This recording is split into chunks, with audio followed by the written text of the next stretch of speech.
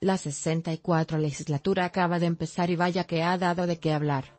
Entre estos destacados momentos están los protagonizados por el diputado Gerardo Fernández Noroña. Todo inició el sábado desde San Lázaro en la sesión del Congreso General que recibió el sexto informe de gobierno de Enrique Peña Nieto. Al iniciar con la lectura del orden, Noroña alzó la voz al tiempo que Porfirio Muñoz Ledo sesionaba. Ante el constante reclamo, el presidente de la mesa directiva le cedió la palabra. Noroña expresó, el próximo lunes donde el presidente Enrique Peña Nieto estará presentando el contenido su sexto informe de gobierno es una parodia, algo que no debe darse.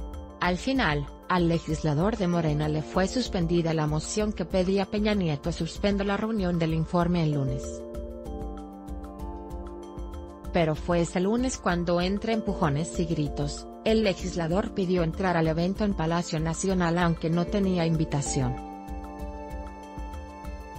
Elementos del Estado Mayor Presidencial le negaron la entrada y descargó su molestia en declaraciones a la prensa. Muy mal diputado Muñoz Ledo, muy mal Martí, les reclamó entre empujones elementos del Estado Mayor para abrirle paso a los presidentes de las cámaras. Con micrófono en mano, Fernández Noroña consideró una majadería que no lo dejarán pasar, pues dijo que el verdadero informe de gobierno debe darse el 1 de septiembre ante el Congreso de la Unión y no en una reunión de amigos. Luego, el martes en el arranque de la primera sesión de pleno de la Cámara de Diputados, Noroña confrontó de nuevo a Muñoz Ledo, desde su curul el morenista reclamó que no se permitió el acceso a Palacio Nacional. Muñoz Ledo explicó que asistió en calidad de representante de la Cámara Baja, por lo que, dijo, no había lugar para la discusión.